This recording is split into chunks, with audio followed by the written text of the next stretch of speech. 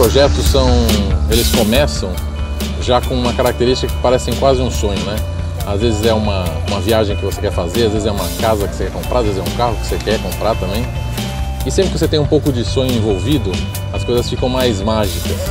É, esse filme, desde o momento zero que a gente começou a pensar nessa campanha, ele teve esse componente, ele teve esse encantamento, ele teve essa magia.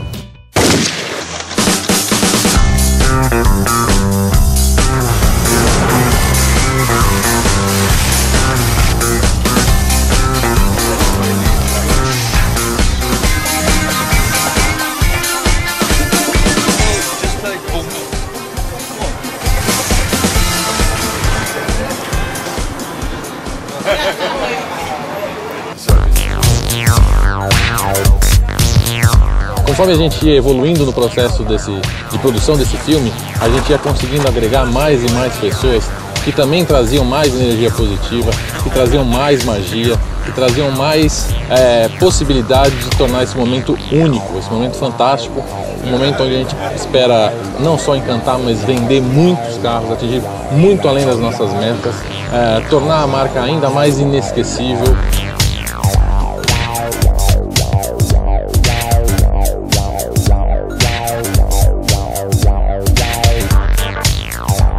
A gente está fazendo um filme de lançamento que eu acho que nunca se viu na história da indústria automobilística. Vai cumprir o papel, vai entregar para o telespectador tudo aquilo que o carro tem de inovador, de diferente.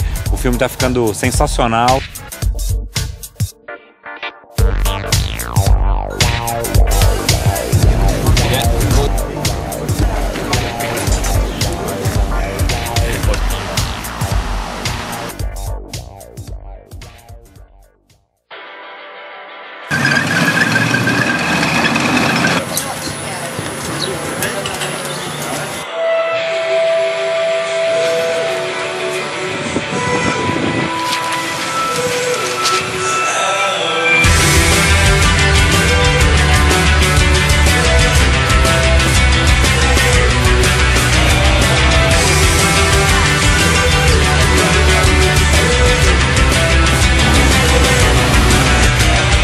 I think people felt that the, the cars most achievable in, in visual effects and also least achievable in real production would be the Red Max. For us to achieve the final result, how do we go about shooting some of these shots? For Red Max, for example, we have a Red Max character shot on green screen, so we can separate him and put him into the car. But then also for the CG, we have to take environmental photos. Every shot is broken down, um, and everyone has an understanding of what, what everyone's job there is to do to make the shot look as good as it can.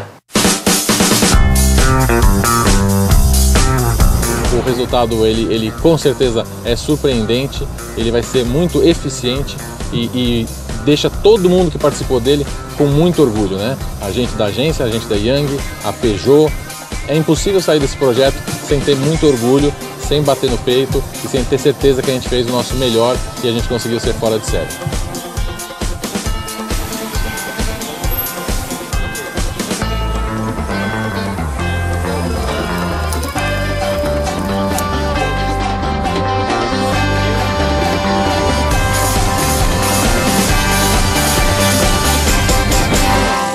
Peugeot.